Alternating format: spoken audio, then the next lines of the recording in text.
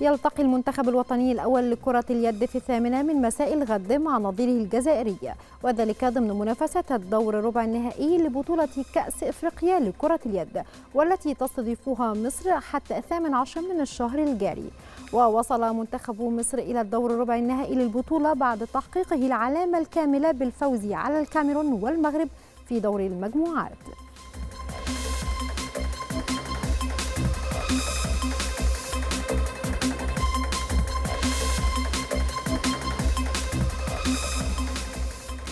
حقق فريق إسترن كامباني الفوز على ضيفه مصر المقصة بهدفين مقابل هدف في المباراة التي جمعتهما على استاد بوترو سبورت في إطار الجولة الرابعة والعشرين من الدوري الممتاز لكرة القدم.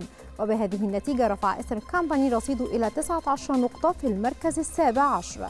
بينما تكبد المقصة الخسارة في الدور 14 له في الدوري ليتجمد رصيده عند 14 نقطة في المركز الأخير. منح الرئيس التونسي قيس سعيد البطلة العالمية التونسية أنسي جابر الوسام الوطني للرياضة من الدرجة الأولى. جاء ذلك تقديرا لمساهمتها في إعلاء راية بلادها أمام المحافل الرياضية الدولية.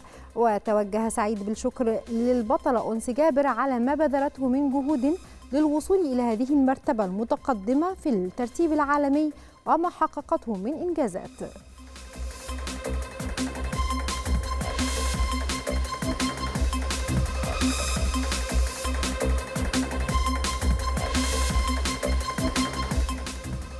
ختام أخبار الرياضة وعودة مرة أخرى إلى آية وسحر. إليكما. شكرا لك دينا شرف.